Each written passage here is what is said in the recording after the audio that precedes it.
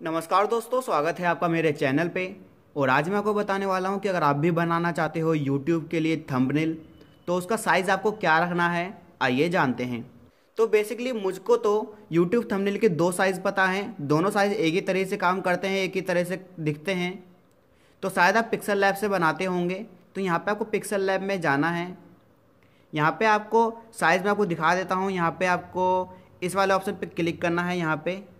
और image size पे click करके यहाँ पे आपको मिलेगा कस्टम इस पर क्लिक करें और यहाँ पे एक यूट्यूब थंबनेल आपको मिल जाएगा, इस पर क्लिक करेंगे। तो ये ऑटो सेट हो जाता है, यानी अपने हिसाब से ऑटोमेटिक सेट हो जाता है।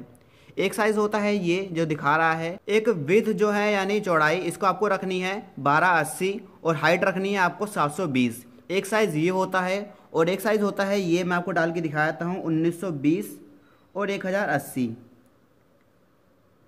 आप इन दोनों साइज़ से कोई सा भी कर देंगे तो आपको जो थंबनेल है, इसी साइज़ का आएगा और आसानी से यूट्यूब वीडियो पे सेट हो जाएगा। आपको कोई भी दिक्कत नहीं होगी ना ही एडजस्ट करने की दिक्कत होगी।